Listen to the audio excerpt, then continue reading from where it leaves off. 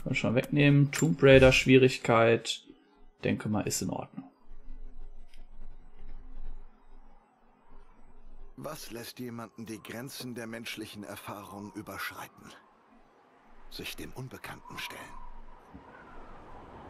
Als Kinder stellen wir die Welt um uns in Frage. Wir lernen, wir akzeptieren. Und dabei verlieren wir die Fähigkeit zu staunen. Aber einige nicht. Die Forscher, die Wahrheitssuchenden. Es sind diese Pioniere, welche die Zukunft der Menschheit formen.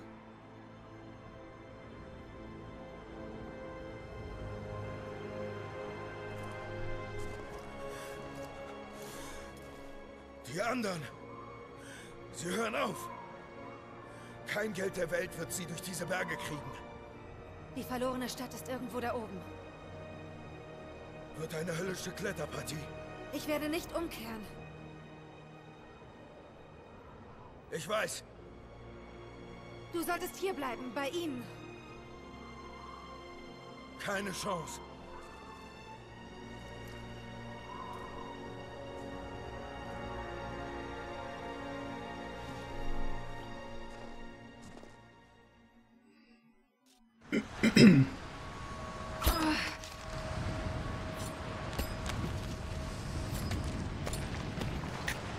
Du bist fast da. Warte, bis du das siehst, Laura. Nimm meine Hand.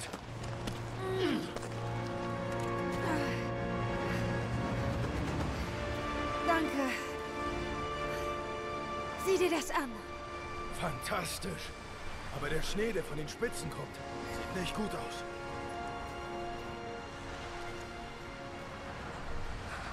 So, und damit Den Berg rauf. Vom herzlich Willkommen hier bei Rise of the Tomb Raider. Ja, also was für ein Anblick hier. Und jetzt stürmt es hier auch noch. Ich gehe mal ein bisschen vorwärts. Aber der Ausblick, den man hier hat, auch wenn man in die Richtung guckt oder so. Alter Verwalter, ist das fantastisch. Also grafisch haben sie da echt nochmal eine ganze Schippe zugelegt. Das erste Reboot Tomb Raider ist ja 2013, glaube ich, erschienen. Alter, und sehen die Effekte, der Schnee, das Wind, auf dich. Wow, also sieht wirklich richtig fantastisch aus. Ich glaube nicht, dass das im Stream hier perfekt rüberkommt, weil ich natürlich jetzt hier nicht die mega Internetleitung habe, um das hier mit einem mega Upload zu übertragen. Wow, okay? Alter, ey, da würde ich. Also ganz ehrlich, bei so einem schmalen Weg, ne? Oh, Alter, das ist auch wirklich nicht schön. Okay, ich muss irgendwie E drücken, okay. QTE for the win. Ja. Jonah! Ich bin hier! Okay. Nein! Das ist zu gefährlich! So, jetzt müssen wir hier erstmal entlang klettern mit Lara. So, das Schlimmste haben wir schon mal abgewendet. Boah, war das knapp. Erkletterbare Wände, zerklüftete Wände aus Eis und Fels sind erkletterbar. Sag bloß. E und dann können wir uns hier befestigen und dann da hochklettern, okay.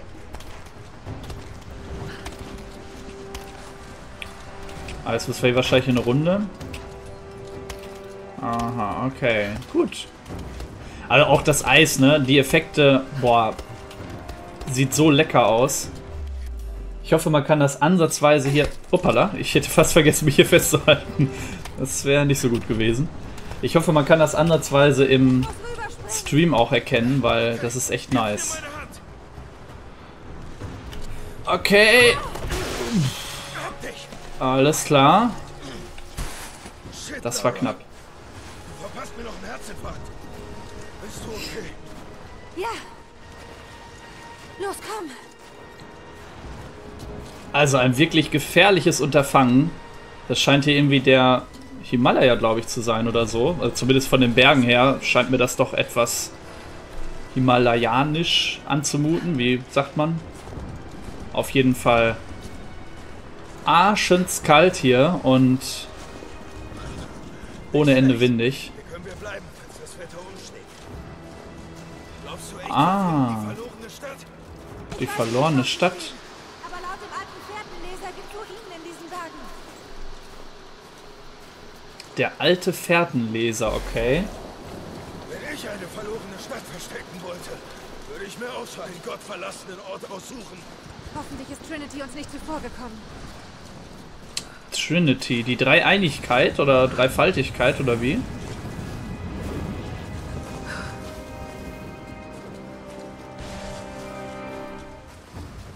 Der Sturm kommt näher.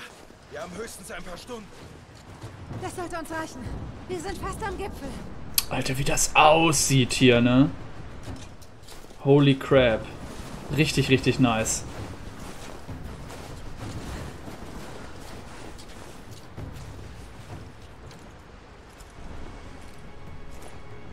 Was meinst du? Wir sind nah an etwas dran. Ich kann es fühlen. Noch das letzte Stück bis nach oben. Alles klar. Mal sehen, was da oben ist.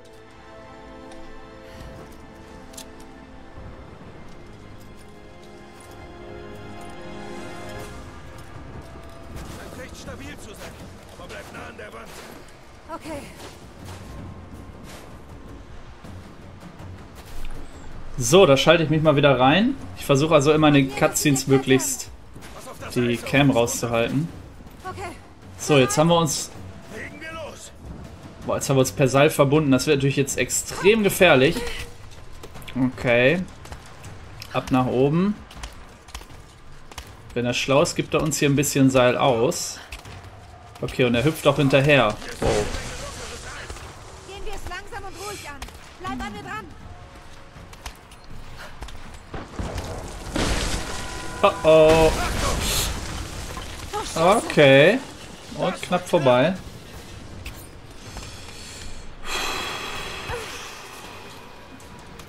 So. Jetzt müssen wir uns da hochhangeln. Oh Gott. Rechts rum. Oje. So, schön wieder ins Eis einhaken mit unseren Eispickeln.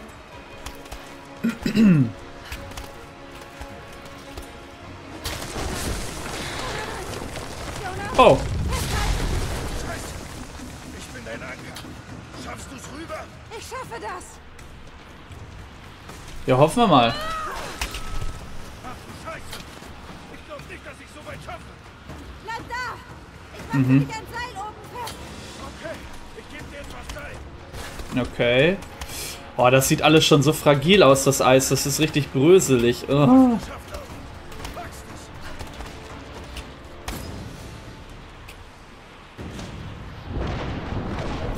Oh.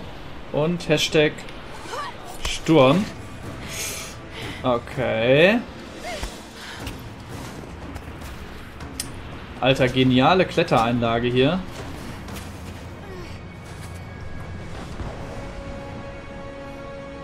Jonah, wir haben es geschafft. Ich sehe die Ruinen. Oh Gott. Krass. Oh oh.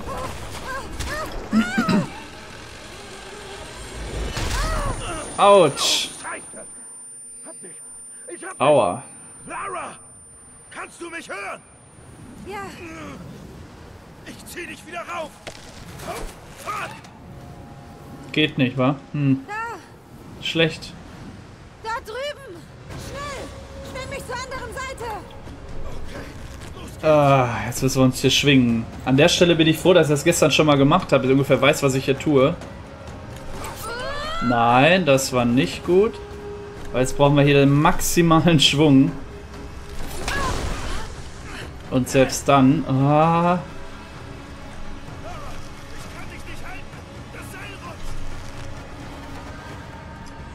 so.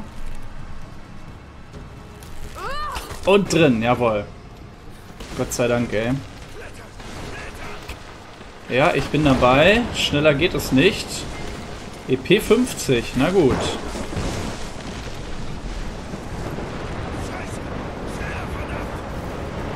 Und Hashtag Lawine. Okay.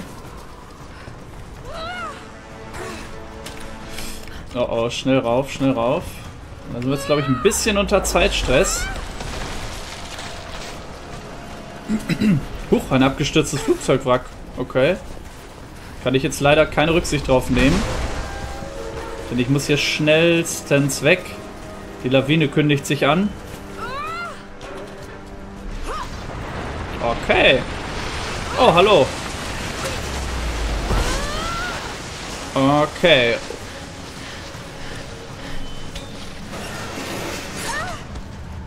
Eieiei.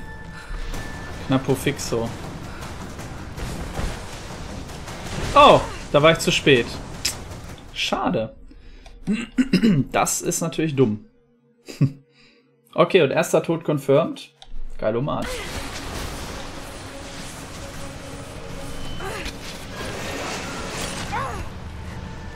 So.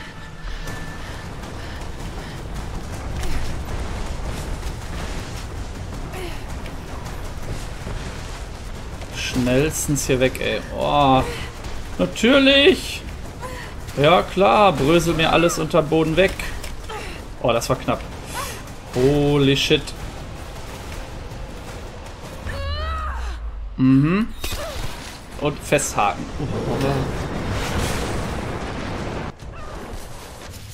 Ja, gut. Und festhaken. Eher so für die Katz.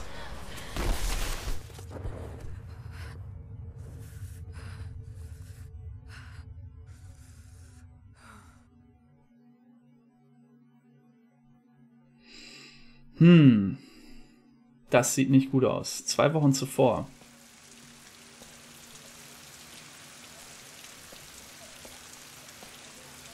London, England.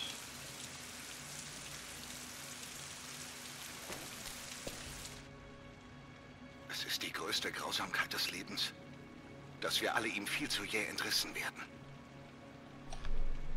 Wir altern, wir verfallen, wir sterben. Aber was lassen wir zurück? Knochen? Staub? Was ist mit der Seele? Überdauert sie unsere Existenz auf Erden? Ich glaube, sie tut das. Äh, Im Kern vieler Mythen und Geschichten steckt eine Wahrheit. Sie ist nicht wissenschaftlich, sondern etwas viel Tieferes. Der Schlüssel zum Erlangen des ewigen Lebens. Vielleicht habe ich das nächste Puzzleteil gefunden. Aber nicht nur ich allein bin auf der Suche. Sie verfolgen mich. Beobachten jeden meiner Schritte. Ich kenne jetzt ihren Namen. Trinity. Eine uralte, grausame Sekte, die die Zukunft der Menschheit unbedingt kontrollieren will. Ich muss sehr vorsichtig sein und meine Familie schützen. Wenn Lara etwas zustoßen sollte oder Anna, dann könnte ich mir das nie verzeihen.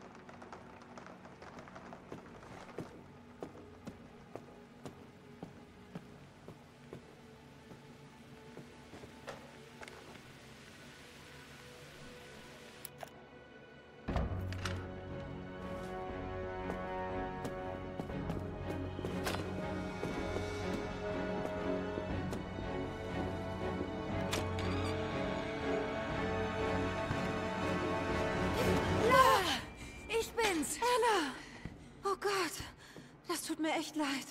Was machst du hier? Die Boulevardpresse hatte ich mal wieder im Visier. Ich dachte, du brauchst Gesellschaft. Mehr Lügen. Ist dir jemand gefolgt? Verfolgt? Natürlich nicht. Was ist denn los? Ich glaube, ich habe das Grab gefunden. Das kann nicht dein Ernst sein. Der Mythos um den Propheten ist wahr. Dad hatte recht. Lara, dein Vater war... verwirrt. Nein. Er stand kurz vor einer großen Entdeckung. Handfeste Beweise für die unsterbliche Seele. Ich liebte Richard. Hätte er gefragt, hätte ich ihn geheiratet. Aber er war ein gebrochener Mann. Ich will nicht, dass du genauso endest wie er. Aber Anna, er hatte recht. Alle anderen haben sich geirrt. Das Grab ist in Syrien. Syrien? Oh Gott, Lara, nein! Das ist Irrsinn! Krieg dein Leben in den Griff. Geh zurück nach Hause. Du weißt, dass ich nicht zurück kann. Diese Besessenheit ruinierte deinen Vater. Ich habe was gesehen. Etwas, das ich nicht erklären kann. Ich verstehe jetzt, wie Dad sich gefühlt hat. Das sind doch alles Märchen. Nonsens. Bitte, Lara, tu das nicht. Du weißt, wie das endet. Es ist das Einzige, das sich richtig anfühlt. Ich werde das Grab des Propheten finden, Anna. Ja denn, auf zum Grab des Propheten.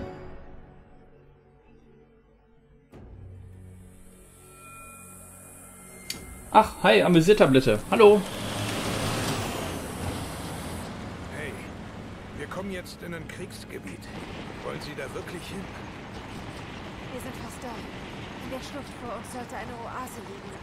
Sie verschwenden Ihre Zeit. Hier draußen ist nichts. Fahren Sie einfach weiter, okay? Ist Ihr Geld.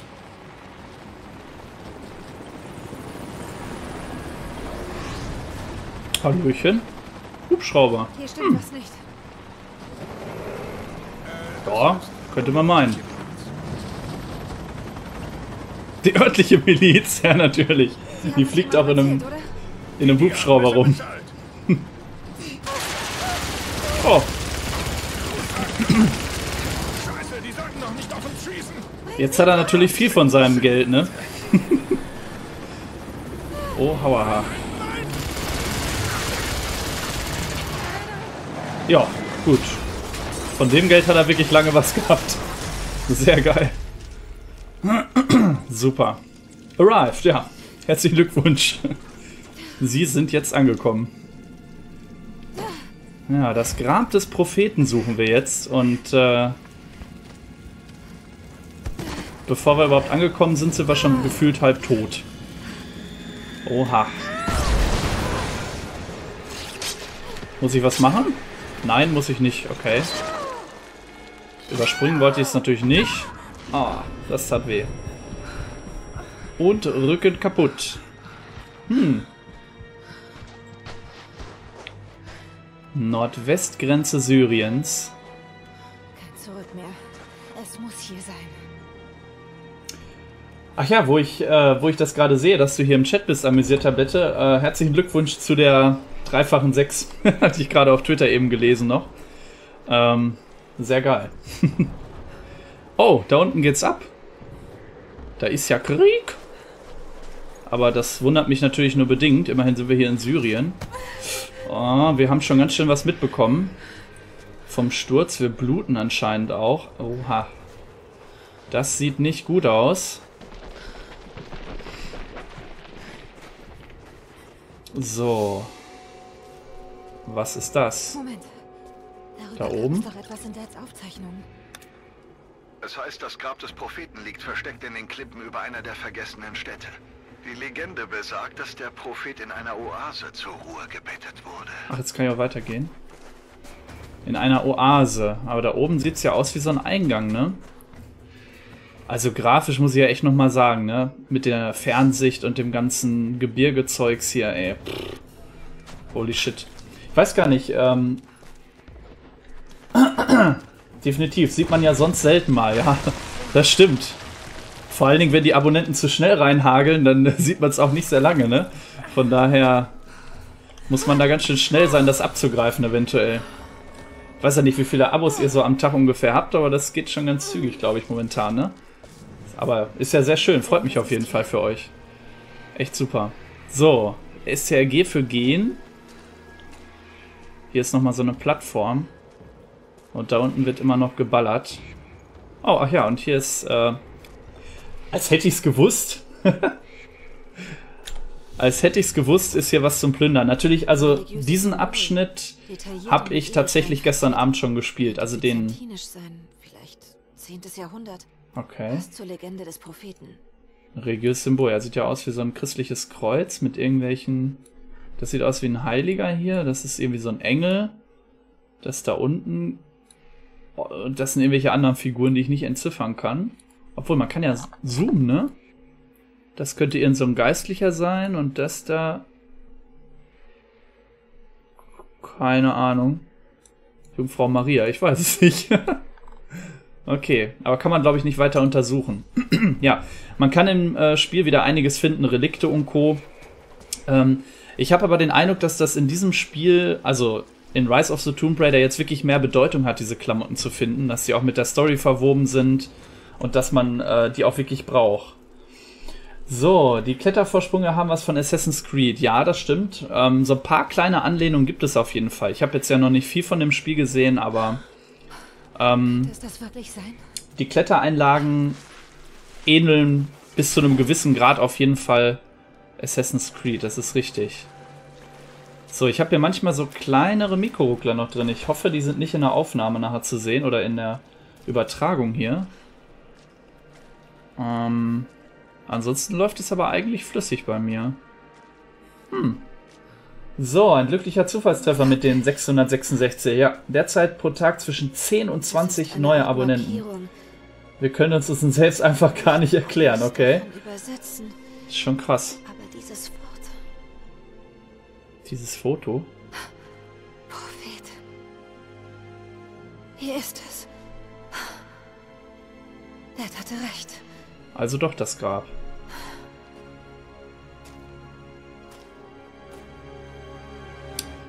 Finde ich auch cool hier, diese Leuchtstäbe mit dieser Leuchtsubstanz, die sind echt cool gemacht.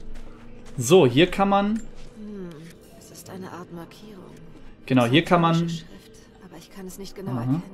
Genau, dazu müssten wir jetzt halt Griechisch können. Das ist auch übrigens ein ganz schöner... Ähm okay, Mikro, da sieht man zwischendurch schon, aber sonst ist es flüssig. Okay. Hm, bin mir nicht ganz sicher, woran das liegen könnte. Ich habe ein bisschen am Stream-Setup gebastelt heute über den Tag. Äh, oder heute Nachmittag vielmehr. Hm, könnte mir vorstellen, woran es liegt. Vielleicht mache ich das später nachher mal in der Pause wieder rückgängig. Eventuell ist es dann wieder ganz flüssig. Mal gucken. Aber wir machen jetzt ja erstmal weiter. Ähm, echt schön anzusehen, ja, das auf jeden Fall. So, diese Wandgemälde hier, da kann man jetzt sein Griechisch aufpolieren, denn da oben sind ja auch Inschriften drin. Okay, hier ist er. Bei sowas wie Wunderheilung. Dads Notizen erwähnen das auch. Okay, der Prophet ist auf jeden Fall der mit dem Heiligenschein, das ist ja klar. Wenn man so ein bisschen christliche Symbolik kennt, da werden ja auch die Heiligen ähm, immer mit einem Heiligenschein dargestellt. Weiß gar nicht, ob das im Islam auch so ist. Hm. Dann äh, könnte das natürlich sein. Ich glaube, das reicht noch nicht, ne? Hm, es ist eine Okay. Art Markierung. Byzantinische Okay. Schrift. Aber ich kann Da es nicht drüben. genau erkennen. Hier liegen auf jeden Fall jede Menge Waffen rum. Und sonstiger Krams. Drücken Sie zum Übersetzen E. Der Prophet spricht mit einer fremden Armee, vermutlich die Russ. Er überzeugt sie, die Waffen niederzulegen. Er ging unbewaffnet zu ihnen. Okay, die Rus. Oder Russ. Okay, das war. Boah, lass mich das mal historisch einordnen. Das war, glaube ich. Ja, das könnte sagen, das Vorgängervolk Russlands sozusagen, bevor es wirklich einen Staat Russland gab.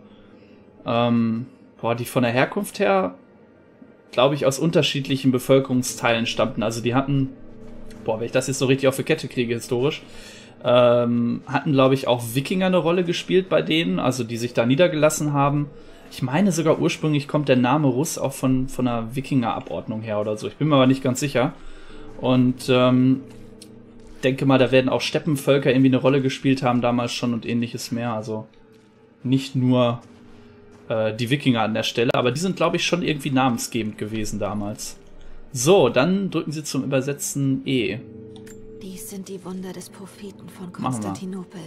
Zu Unrecht ermordet durch den Orden von Trinity. Trinity, okay. Der Orden von Trinity scheint also schon urlange aktiv zu sein. Sprachkenntnis erhöht. Kann jetzt Griechisch der Stufe 1 übersetzen.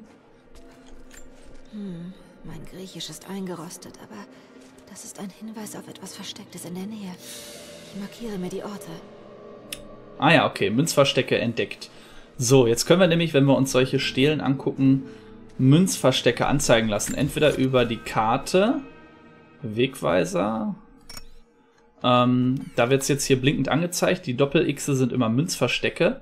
Und diese komischen Kreuzsymbole hier, das sind die Wandgemälde, genau. Mehr können wir hier, glaube ich, auch nicht finden. Und hier vorne können wir jetzt die Münzen ausgraben. Okay. Alte Münzen können gegen Upgrades und Ausrüstung getauscht werden. ja, genau. Gerade Griechisch gelernt, schon ist es eingerostet, ja. Gut, ist natürlich erst Griechisch Stufe 1, ne? Das ist wahrscheinlich äquivalent zu eingerostet im Griechisch. ja, echt schön. Aber ich finde das ganz gut gemacht, dass man hier so ein bisschen so so eine Art Archäologie-Storyline mit drin hat. Also, dass man hier so ein bisschen äh, erkunden muss, ein bisschen ergraben muss, äh, Tafeln lesen muss, finde ich echt ganz cool. Erinnert mich auch sehr stark hier dieses Level an äh, Indiana Jones. Was ich ja letztens übrigens gehört habe in einem äh, anderen Stream, den ich gesehen habe auf nvidia.de, ähm, dass ursprünglich Lara Croft eigentlich ein männlicher Charakter hätte werden sollen, aber äh, befürchtet wurde, dass es zu viel Ähnlichkeiten zur Indiana Jones Serie gibt und die deswegen wegen Copyright und KKG gesagt haben, wir machen lieber einen weiblichen Charakter daraus und so ist dann Lara entstanden. Ganz interessanter Fakt an der Stelle. Ähm, drücken Sie zum Interagieren E. Ja, es ruckelt immer noch hier und da. Man sieht es hier in der Zwischensequenz. Ich mache mich mal gleich an die Einstellung, glaube ich, noch. Ein geheimer Eingang. Okay. Ah ja, genau, den können wir jetzt öffnen. Mehrfach E drücken, dann wird der Eingang hier allmählich ah, aufgerissen. Jawohl. Hier gehen wir mal durch. 150. Boah, geilomat. Unglaublich. Wenn Dad das nur hätte sehen können. Krass. ja, also hier ist natürlich... Äh, darf ich mich bewegen? Achso, die Kamera war gerade nicht steuerbar. Ähm, hier ist, glaube ich, echt der Vergleich zu Indiana Jones schon fast zu greifen nah. Hier so ein in, in die Wand ähm, reingebautes Grabmal. Erinnert natürlich an den, äh, an den dritten Teil. Ähm, von daher äh, ist das, denke ich mal, sehr evident an der Stelle, woran sich hier angelehnt wird. Auf der anderen Seite gibt es ja tatsächlich im, ähm, ich hätte bald gesagt, im asiatischen, nee, im nahöstlichen Raum tatsächlich äh, immer wieder Beispiele für solche Wandgebäude oder Wandarchitektur. Also die gibt es nicht nur in, keine Ahnung, in den altbiblischen Regionen, wobei Syrien ja auch schon eine biblische Region ist. Also da gibt es immer wieder diese Art von Architektur manchmal. Von daher, Q. Ah, da können wir uns das Einsatzziel anzeigen lassen. Da drüben müssen wir hin.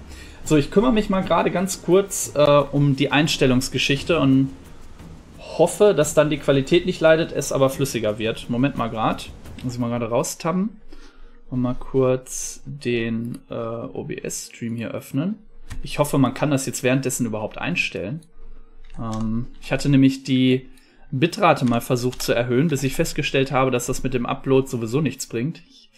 Ähm, äh, lala, very fast. Ach nee, daran könnte es auch gelegen haben.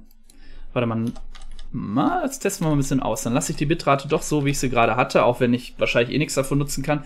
Ich habe die Prozessorauslastung nämlich einen runtergestellt und das führt, glaube ich, zu Rucklern. Eventuell. So. Gut, dann können wir wieder ins Spiel. Ich hoffe, jetzt ist flüssig. Ja. Beim Bewegen, naja, flüssig. Vielleicht sind es nicht ganze 30 FPS. Mal gucken. Aber es sollte gehen. Ist hier unten eigentlich was drin? Kann man hier irgendwie lang? Nee. Oh, eine Rolle. Auch nicht schlecht.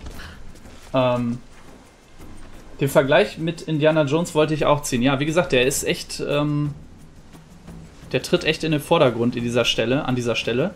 Aber wir werden später auch noch sehen, es geht auch in ganz andere ähm, Gefilde rein, die dann äh, ganz andere Gebiete umfassen.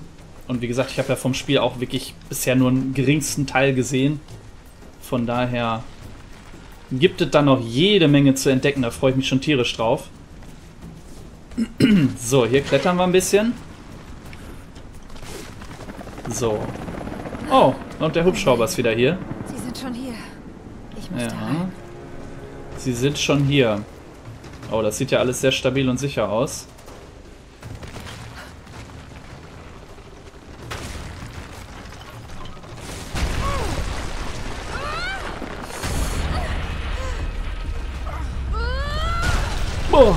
Junge, uh, das war knapp. Ich glaube, da kommt es echt auf aufs Timing an, wie man sich hier rechtzeitig oder nicht. Ich habe immer noch ein paar kleine Mikroruckler drin. Damn it. Oh, und jetzt stürze ich in den Tod. Ja gut, und Tod Nummer zwei. Auch nicht schlecht.